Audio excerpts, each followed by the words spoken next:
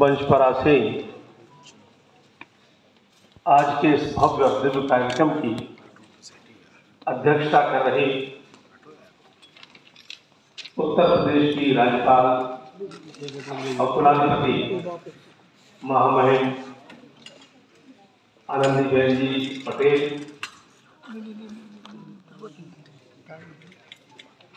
मुख्य अतिथि दीपक जी श्रीवास्तव। विशिष्ट अतिथि श्रीमती रजनी तिवारी जी, जो मेरे साथ उच्च शिक्षा की स्टेट मिनिस्टर है, इस विश्वविद्यालय के कुलपति मुकेश जी पांडे, विश्वविद्यालय के सभी पदाधिकारीगण कार्य परिषद और विद्या परिषद के सदस्यगण जिला प्रशासन के वरिष्ठ अधिकारीगण, मीडिया कर्मी, उपस्थित प्रिय विद्यार्थियों। सबसे पहले मैं इस झांसी की धरती को नमन करता हूँ, उसका वंदन करता हूँ।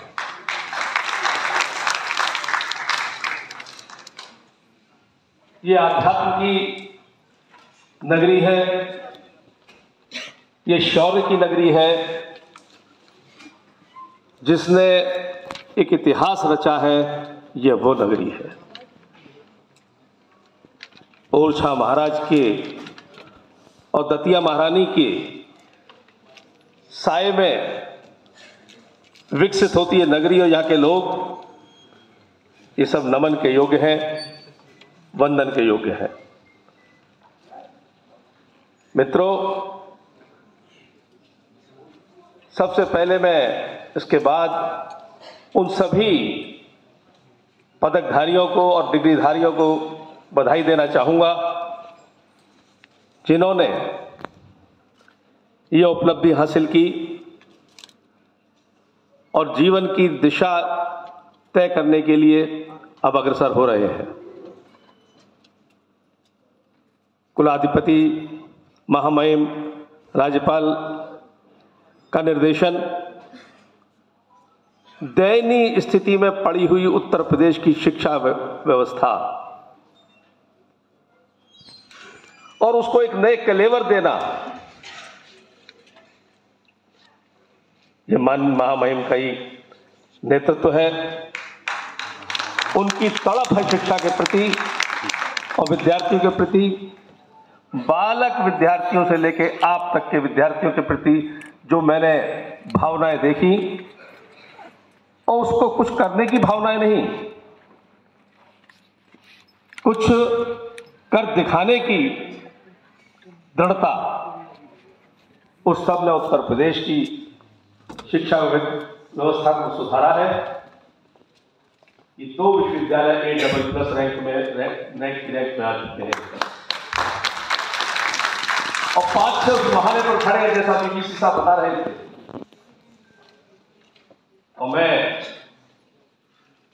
जो मार्गदर्शन मिला है महामहिम का इस विश्वविद्यालय के उन लोगों को जो रैंक के लिए प्रयासरत है रैंकिंग के लिए, और जैसा भी विशी साहब ने बताया, मैं कामना करता हूँ कि आपके विश्वविद्यालय को भी डबल प्लस प्राप्त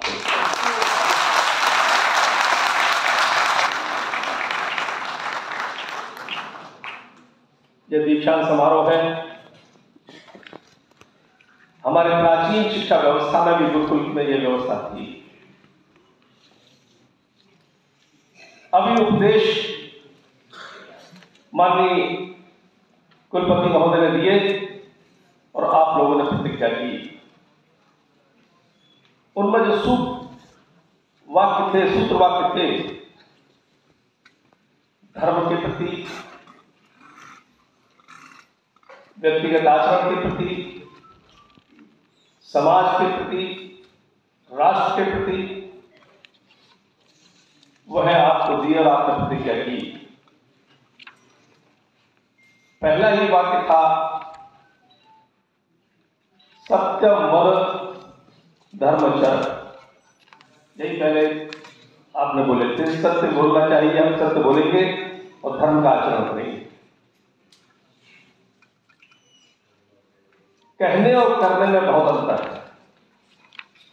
प्रभावशाली व्यक्तित्व वही बनता है जो कहता है वो करता है, उसकी कथनी और करने में अंतर नहीं होता। आपने प्रतिज्ञा की है। और उसका उदाहरण सीधा सीधा हमारे सामने हमारी महामहिम है। जब उन्होंने आचरण किया है तो ये सर्वोच्च स्थान पर पहुँची और कहने में दम है। क्योंकि तो जो हम कहते हैं, वो बोलते हैं, वो करना भी चाहिए। उससे व्यक्तित्व प्रभावशाली बनता और बलिहार होता है। आप लोगों के सामने भविष्य है। आप लोग कहेंगे जो कहा है, प्रतिज्ञा है। यदि आचरण करेंगे तो निश्चित अपने अपने क्षेत्र में वो व्यक्ति जो देश का और समाज का नाम रोशन करेंगे, उसकी सेवा करेंगे। वसुधैव कुटुंबकम हमारा आदर्श दर्शन है। कोई और दर्शन इतना महान नहीं है। जी ट्वेंटी उसका एक ग्रुप है। जिसकी कल्पना हमारे ऋषि मुनियों ने कुछ समय पहले कर ली थी और एक व्यवस्था दी थी। व्यक्ति की चिंता, व्यक्ति से परिवार बनता है, परिवार की चिंता, परिवार से समाज बनता है, समाज की चिंता, समाज से राष्ट्र बनता है, राष्ट्र की चिंता, और राष्ट्र सृष्टि सृष्टि बनती है, सृष्टि मात्र की चिंता देती है तो हमारे धर्म ने की हमारे, हमारी व्यवस्था ने की यह है हमारी जड़ से भी हमने कुछ सीखा है। चेतन से तो सीखते ही है। ज्ञान के दरवाजे हमने खोल के रखे हमारे दर्शन में। हमारे दर्शन में ज्ञान के दरवाजे बंद नहीं हमने तो पेड़ पौधों से भी सीखा दो पंक्तियाँ है किसी महापुरुष की वो पंक्तियों का अर्थ सब मैं दोहरा देता हूँ। कि वृक्ष से हम ये सीखते हैं कि झुकना।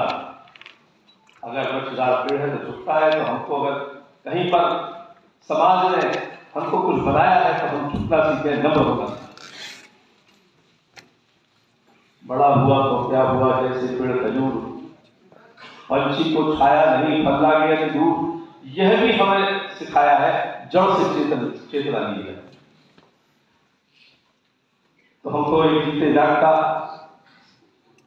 वो है जिसके बाद बुद्धि या विवेक।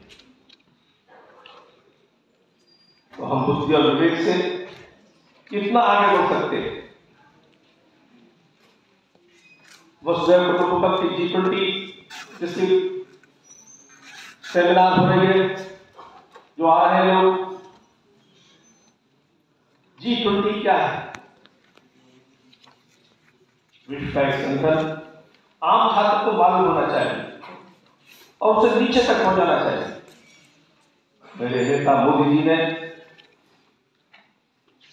ये नीचे तक कैसे पहुँचे? इसकी योजनाएँ दी है आप सबकी ज़िम्मेदारी है उसको नीचे तक पहुँचाए विश्व के कई संगठन क्यों बने? क्योंकि एक दूसरे देश की किसी भी घटना का असर सुदूर बैठ के गाँव में बैठ हुआ है। सत्यजीत रे बहुत बड़े निर्देशक हुए हैं। फ़िल्म के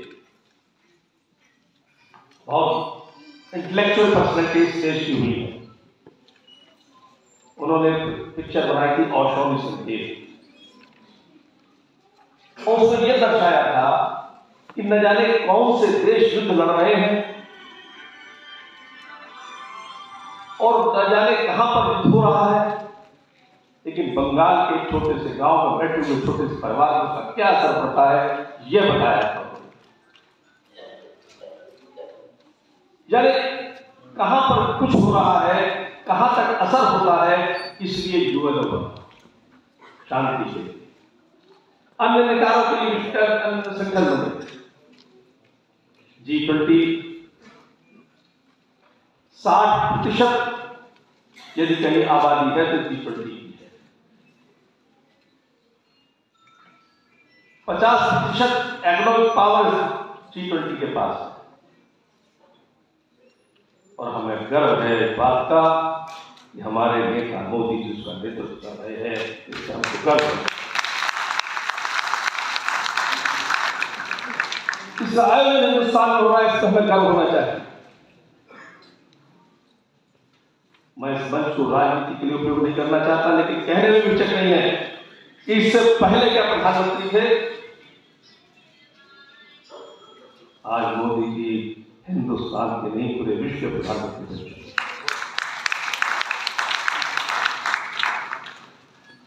मोदी जी कहते हैं, दुनिया सुनती है। मोदी जी बताते हैं दुनिया मानती है, यह है मेरा नेता मोदी तो कैसे बने, कथनी और करनी में अंतर नहीं था। नारी सशक्तिकरण की बात बहुत होती है। कहते चले आए झुकते चले आ रहे लेकिन झांसी तो रानी का नेतृत्व, नारी का नेतृत्व देने वाला भूमि है सर ज़मीन है की माटी तो नारी का नेतृत्व दे और मोदी जी ने उस परिभाषा को बदला है, नारी को नेतृत्व मिलना चाहिए।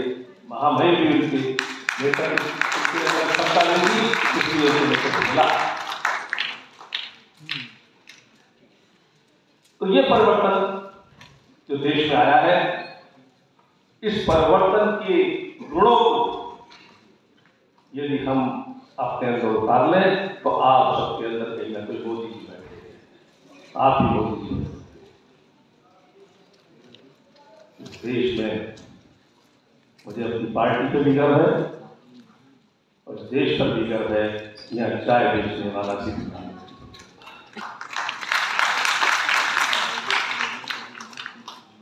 बहुत सी योजनाएँ चलाई है डीसी साहब ने। लोकल समस्याओं से जुड़िए। हर देश का वातावरण में अलग अलग समस्याएँ होती हैं। झांसी के आसपास की भी समस्याएँ होंगी, समाज की समस्या होगी, सामाजिक परिवेश होंगे, सामाजिक परिस्थिति होंगी। ये बुंदेलखंड है। जहाँ पानी की समस्या हुआ करती। अभी मेरा परिचय देते समय मुझसे कहा आगरा का भगीरथ आगरा में पानी की समस्या थी, मित्रों। करता है तू कन्हैया मेरा नाम हो रहा है। मैंने प्रयास किया उनकी कृपा हुई आगरा में, यमुना मैया के शहर में, जब 9 जनवरी 2019 आगरा वासियों के इतिहास की तारीख बन गया, जब मेरे नेता ने बटन बटन दबाया और गंगा मैया, यमुना मैया के घर के घर में प्रवेश किया। इसलिए जब बुंदेलखंड पानी की समस्या किसी ने क्यों नहीं सोचा आज जी ने क्यों सोचा? भाजपा की सरकार ने ही कि आगे पानी की समस्या का निवारण होना चाहिए। तो यहाँ की समस्याओं से यहाँ के छात्र जुड़े, यहाँ का समाज, अध्यापक जुड़े, शिक्षण संस्थाएँ जुड़े, उनका निराकरण कैसे हो सकता है, इसलिए शोध करें। इसकी रिपोर्ट तैयार करें। रिपोर्ट तैयार करके सरकार को दे, अपने बैठे यहाँ पर इनको दे। नहीं, अभी तक क्या होता था? ये नया परिवर्तन मोदी जी के दे रहे हैं, उसकी दिशा है। अभी तक क्या होता था कि कोई योजना बना ली है चलिए रिपोर्ट तैयार करिए सीएफआर तैयार करिए डीपीआर तैयार करिए अगर वो बनी बनाई रिपोर्ट पहले से मिल जाएगी यहाँ के सारी लोगों की विद्वत जनों से तो समस्या निराकरण में सबसे पहले उसी का उपयोग किया जाएगा। विश्वविद्यालय की भूमिका भी हो। यहाँ के छात्र छात्राओं शोध करने वाले लोगों की भूमिका हो। सरकार की योजनाएँ आती है। माननीय मोदी जी ने कई योजनाएँ दी है, योगी जी ने कई योजनाएँ दी है, जो अंतिम छोर पर बैठे व्यक्ति को लाभान्वित करती है। लेकिन मालूम नहीं है उन लोगों को जिनके लिए योजना आई। तो उनका योजनाओं का लाभ उस अंतिम छोर तक नहीं पहुँच पाता। इसका भी ज़िम्मेदारी उस वर्ग को है जो जन है। यानी पढ़ा लिखा है, आप लोग। तो आप सिर्फ़ डिग्री धारक नहीं बनिए। समाज के लिए कुछ करने वाले समाज के उत्थान में अपने योगदान देने वाले हमारा सौभाग्य है कि आज हमको ऐसा नेतृत्व मिला है जो हिंदुस्तान को नहीं, पूरे विश्व को नई दिशा दे रहा है। तो उस महायज्ञ में जो नई व्यवस्थाएँ दे रहे हैं वो अपनी आहुति देने वाला भी व्यक्ति है राष्ट्रपति की तो लाइन नंबर भाषा कहना चाहूँगा मैं कि हमको जो समाज ने ज़िम्मेदारी दी है यह समाज से हमने ज़िम्मेदारी ली है, उसका हम ईमानदारी से पालन करें। यही सच्ची राष्ट्रपति आपके शुभ भविष्य की कामना करता हूँ और राष्ट्र निर्माण में आप योगदान करते रहेंगे। इसकी कामना करता हूँ। धन्यवाद।